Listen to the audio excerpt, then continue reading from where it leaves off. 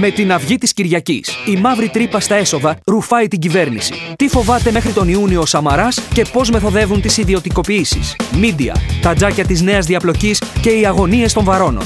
Αφιέρωμα. Τι μας κρύβουν για τη χρυσή επένδυση στη Χαλκιδική; Πώς εκφοβίζουν τους κατοίκους η κυβέρνηση και οι χρυσοθύρες; Ποιος υπουργός διαφωνεί με την αντίστοιχη επένδυση στη Θράκη; Οικοτριβές. Ένθετο οικολογίας με 24 σελίδες. Έρευνα. Απορρίμματα και εργολάβοι. Θέματα. Ποια ανάπτυξη μας πουλάνε. Η απελευθέρωση της αγοράς ενέργειας. Η αλήθεια για τον Αχελό. Στην αυγή της Κυριακής. Αναλυτικά ρεπορτάζ για τις εκλογές στην Ιταλία. Le Monde Diplomatique. Αποκλειστική συνεργασία για την Ελλάδα με αφιέρωμα στην Κολομβία και άρθρο του Σέρζα Λιμί για την Τινησία.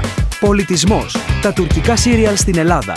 Η ελληνική τηλεόραση στην εποχή του Σουλεϊμάν. Η αυγή της Κυριακής με 88 σελίδες. Έχεις να διαβάσεις.